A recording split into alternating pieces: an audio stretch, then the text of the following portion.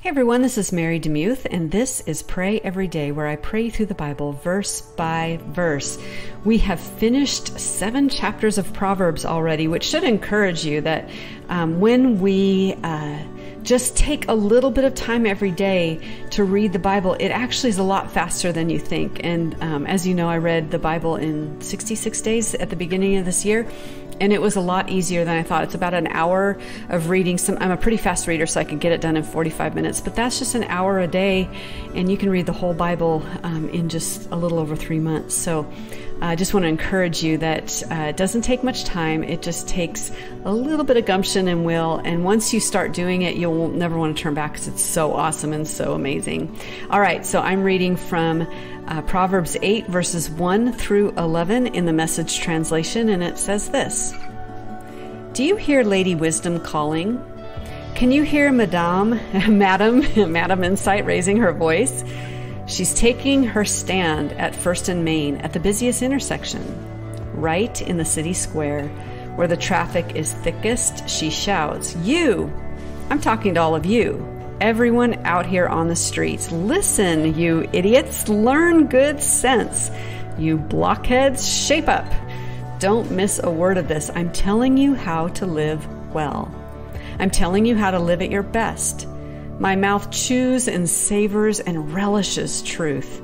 I can't stand the taste of evil. You'll only hear true and right words from my mouth.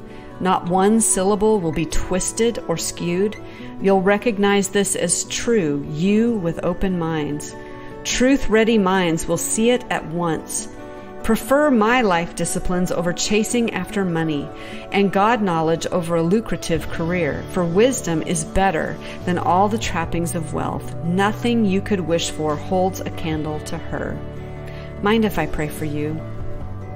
Lord, thank you for your word. Thank you that it's so instructive. And in your word, we find this wisdom on how to live well, how to live at our best. Lord, we do pray along with Solomon that our mouth would chew and savor and relish truth that we would want to say truth and we would want to hear and digest truth. Um, I pray too, just as Solomon said, that we would not stand the taste of evil. Lord, we also want to personify wisdom as it's um, embodied in this, these verses so that we would only hear true and right words and that only true and right words would come from our mouths. Lord, help us not to have the kind of speech that is twisted or skewed or little white lies are laced in there. Lord, we want to be truthful today. Lord, when we're tempted today to tell a little white lie, would you, through your Holy Spirit, catch us and cause us to make a decision otherwise?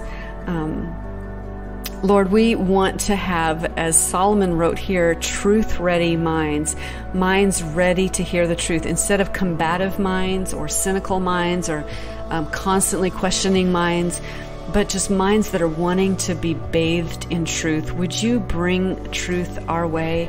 And Lord, through your word, we are going to experience that um, shower of truth.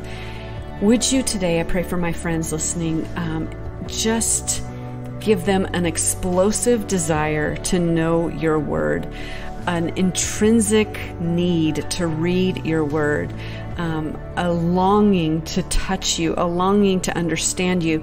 To read your word is to participate in relationship with you. And so, Lord, would you give them an insatiable thirst for you, the fountain of living waters that satisfies every living human being? And we can find a lot of that satisfaction by reading about your heart, your actions, your mind, the way of you in your word. Help us not to forsake it. Help us not to treat it casually. Forgive me. Forgive me, Lord, for treating your word as casual and no big deal because it is alive, it is powerful, it is amazing, and we need it. We need your word and we need your truth. So hearken our hearts today to long to spend time in it and help us also to dispense it widely to people who desperately need to know the truth. Um, not as pounding it over their heads. Um, we don't want to do like truth bombs in that sense.